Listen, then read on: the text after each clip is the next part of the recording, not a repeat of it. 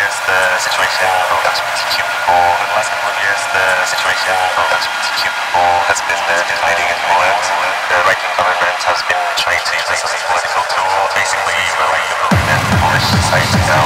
It's, the right-wing government has been trying to use this as a political tool. Basically, we're like the in Polish society now. And yeah, it's become really unsafe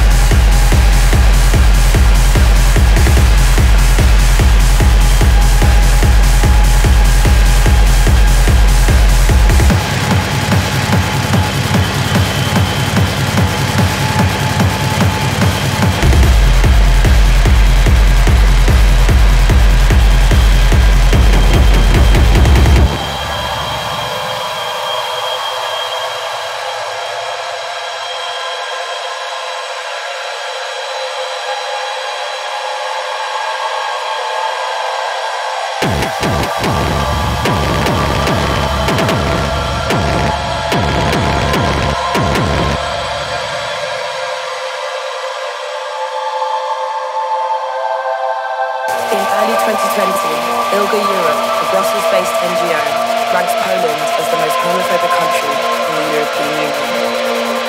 On the 7th of August, Warsaw police arrest Margot, a non-binary activist, and place her in free trial detention.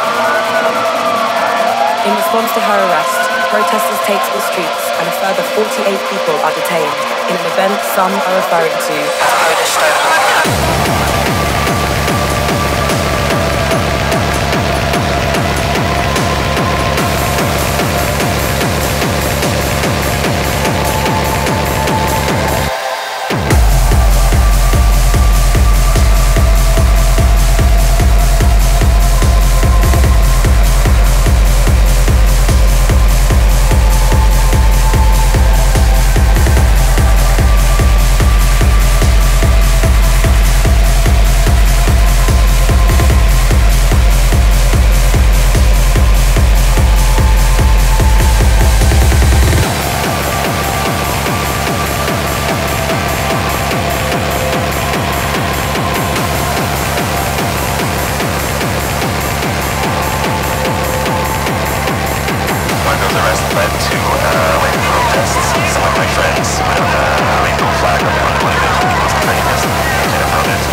Stay there